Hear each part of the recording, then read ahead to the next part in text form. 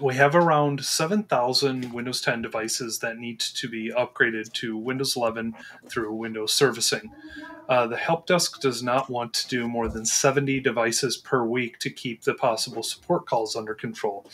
I think that would, I think that would make the process to run into uh, to run into the Windows 12 release. Yeah, that that sounds. Uh, I don't have the calculator right in front of me uh, or the Windows 12 release date, uh, but that well, would take some time. that, that was one thing we learned in Redmond uh, a few weeks back when we visited Microsoft. There is no such thing as Windows 12 planned at this point in time. Yeah, not even like a hint of it. So uh, we're going to be stuck with Windows 11 for a bit.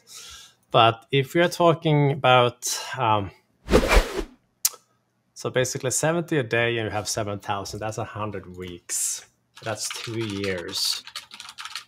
And Windows 11 goes out of support, sorry, Windows 10, 22, H2, Enterprise end of life is October, right? Yes. Yeah, October 14. 78 weeks. Yeah, you're, you're coming up a year short, give or take, or uh, eight months short. So that means that you will have to pay for updates for about a year yeah. until you can patch those last 3,500 some devices. So if you're willing to pay $61 per device, times 3000 or was it 64 let's say 60 they got a discount $200000 a little pricey uh, yeah. probably a little more pricey than the possible support calls that would show up i think yeah i mean there is also this possibility to you know do it right that's right to deploy it in such a way so you don't have the default 10% failures and you rather have to deal with the 2% failures. Mm-hmm. Then you can probably deploy five times as many a day or a week, whatever there was. So instead of 70 per week, you're doing 350 per week. Will get you done by Christmas. That's right. And I think so, so uh, um, Amir did ask as well um, if we had any uh, if we had any guidance really on cadence in such a scenario. I think, if I know you well enough, sir, that your answer is it depends. It depends, but based on on on best practices from from the customers that I, I've worked with, mm-hmm. and um, uh, we, we, we recommend no more than twenty thousand per day because it gets harder after that. That's the largest number I've seen so far. And went fairly smoothly?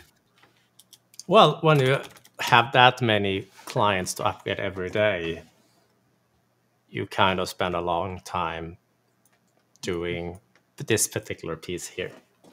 Because every fraction of a percent you can make it better, it actually a lot of devices if you would go with the default failure rates, 10% out of 20,000 a day, that's 2,000 failing.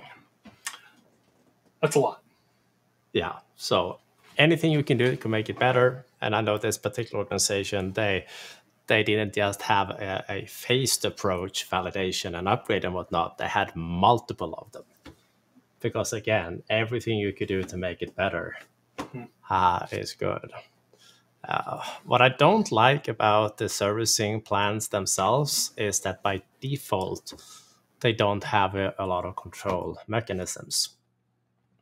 Uh, but uh, with a little healthy help from uh, uh, the community and, and people like Adam and others, uh, you can make that behavior better it's not as good as sequences, but it can be pretty good. And Adam's organization, for example, this is how they decided to do the rollout. Uh, other options, uh, we do have trainings on the topic here on the Academy, paid ones as well as free ones. Uh, let's see where I put the Windows 11 one. Should be here somewhere. Yeah. Hour and a half on notes from the field. So Excellent. that would be that one. Price is just right too.